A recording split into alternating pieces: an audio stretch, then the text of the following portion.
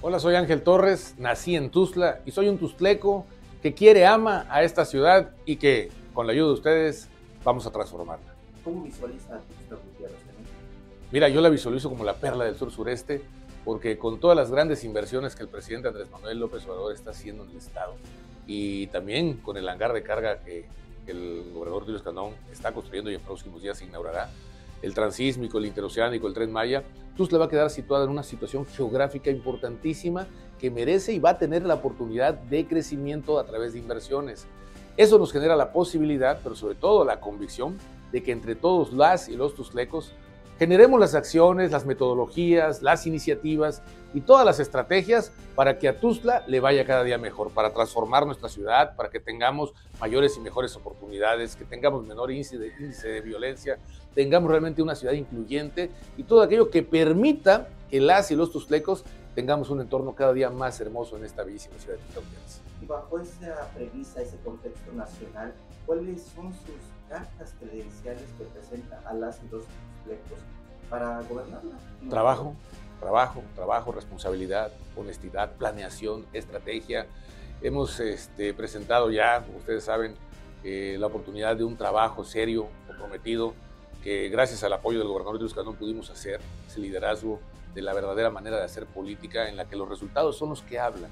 Yo creo que no podemos hablar de discursos vacíos cuando realmente tenemos que aplicarnos en el desarrollo, en el caso de lo que me tocó a mí de la infraestructura y que bueno, tres años, cuatro meses, once días en una secretaría tan importante como la de Obra Pública, en la que se acabó la corrupción, se acabó la impunidad, se acabaron los moches y se construyeron 1.025 obras que implica una diaria por cada día laboral.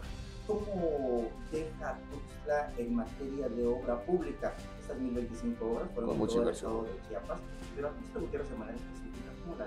Bueno, a Tuzla se le metió muchísimo dinero por parte del gobernador Tulio Cantón. Simplemente tenemos cuatro pasos a desniveles ya concluidos, tres que están en, en- en construcción.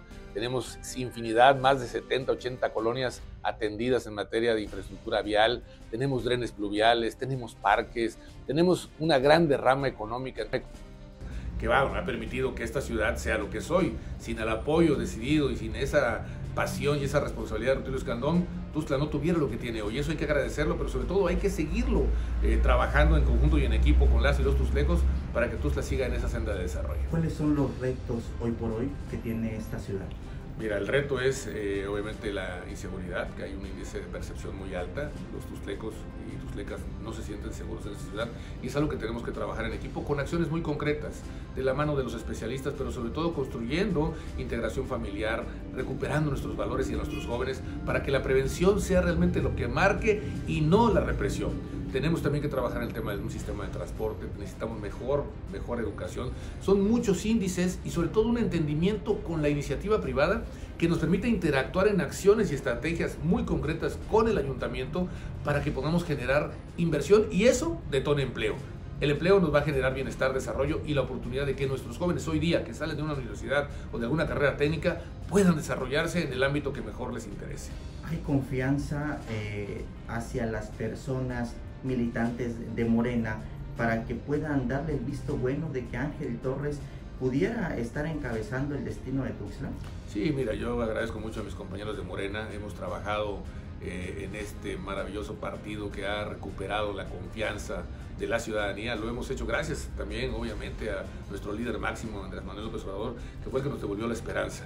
Y nosotros hemos trabajado y hemos caminado con el presidente Andrés Manuel desde hace muchísimos años. A mí me tocó ser eh, el representante de Morena ante el INE en la elección del 2018, en la Junta Distrital 4 Pichucalco, y me ha tocado caminar con él en las diferentes marchas que hemos hecho de apoyo en la Ciudad de México. Hemos trabajado en la Consejería Estatal de Morena y hemos participado activamente en las consultas ciudadanas para informar al pueblo qué es Morena. Y necesitamos integrar cada día más conciencias y hacer esa revolución que tanto necesita para que el segundo piso que ya viene sea una realidad. Un mensaje libre. ¿Qué mensaje le manda a las y los tuxtlecos? Decirles que vamos a trabajar sin descanso, que un- si una ciudad no duerme, el presidente tampoco lo va a hacer. Y que vamos a trabajar en equipo, sin mensajes de odio, sin, mensajes, sin mensajes de división. Eso nos aleja del progreso y nos fortalece, eh, eh, nos hace falta el fortalecimiento del entendimiento. Hoy día la unidad el que todos y todos estemos incluidos en ese Tuzla que queremos, un Tuzla donde haya inclusión, un Tuzla donde haya convivencia pacífica, un Tuzla donde haya oportunidades, un Tuzla donde no haya violencia. Ese Tuzla nos toca construirlo a todos y a todas. Es un gran equipo, es en unidad y lo vamos a hacer juntos muy pronto. Así que enhorabuena, muchas felicidades y Dios los bendiga.